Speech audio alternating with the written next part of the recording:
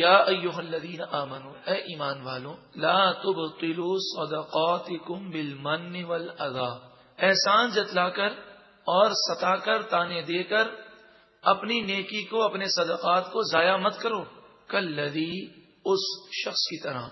युन फिकु मालहू रिया अन्नास, जो अपना माल लोगों को दिखाने के लिए खर्च करता है, रियाकारी करता है। तो जिस तरह रियाकार का सदका जाया चला जाता है। दिखावे की नेकी कबूल नहीं होती। वैसे ही सदका करके, खैरात करके, एहसान जतलाना भी सदक़े को जाया कर देता है। रियाकारी की आफत से बचना भी ज़रूरी है। अगर कुरान और हदीस की मजीद मालूम आप हासिल करना चाहें तो कैसेट हासिल करें? ये कामयाबी नहीं, नाकामी है।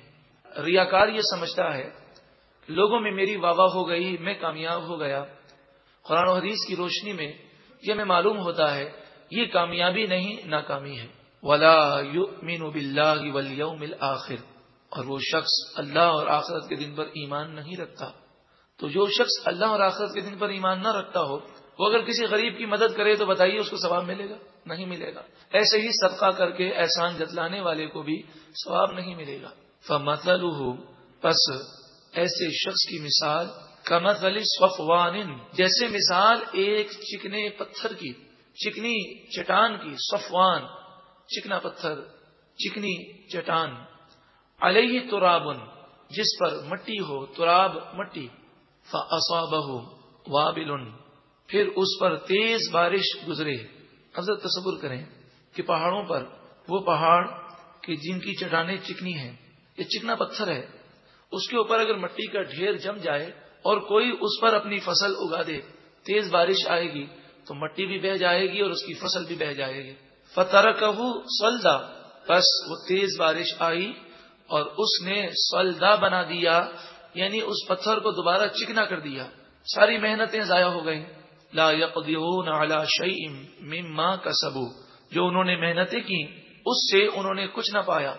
मेहनतें जाया हो गईं। ऐसे ही दिखलावा करने वाला मेहनत करता है, लेकिन उसके अमल का कोई सवाब नहीं दिया जाता। ऐसे ही सदका करने वाला खैरात करने वाला जो एहसान जतला रहा है या तंज ताने देकर उस गरीब के दिल को दुखा रहा है तो ऐसा शख्स अपनी मेहनत से कोई सिला कल बरोज क़यामत नहीं पाएगा।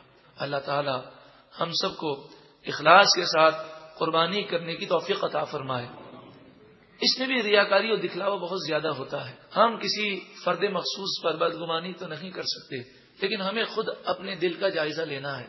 कि अगर हम महँगा जानवर लेकर आते हैं और अगर लोग तारीफ़ ना करें तो तारीफ़ सुनने की अगर ख्वाहिश है और दिल में ये तमन्ना है कि लोग वाबा करें तो समझ जाइए कि इस कुर्बानी की रकम हमारी जाया हो गई। दिल में ये तमन्ना नहीं होनी चाहिए कि लोग वाबा करें। और बसा अवकात तो लोग ऐसा भी करते हैं कि कुर्बानी के जानवर को खड़ा कर देते हैं और जो भी आता है, उससे बार बार पूछते हैं कि जानवर कैसा है।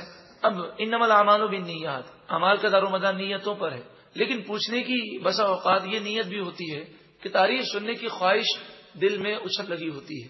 अब आप जानते हैं, किसी से भी आप पूछे, मैं जानवर कैसा लेकर आया हूँ तो हर कोई तारीफ़ ही करेगा और उससे इंसान अपने दिल में फूलता है। अल्लाह की रजा के लिए जानवर लेकर आए और अल्लाह की बारगाह में गिड़गड़ा कर दुआ करें परवरदिगार, जिस तरह तूने इब्राहिम सलाम की कुर्बानी कबूल फरमाई, जिस तरह तूने हमारे प्यारे आका सल्लल्लाहु की कुर्बानी कबूल फरमाई हमारी भी कुर्बानी कबूल फरमा। कबूलियत की फ़िक्र होनी चाहिए। लोग क्या कहते हैं? वाह करते हैं, इसकी फ़िक्र न रखें। वल्लादिल कौमल काफिरीन।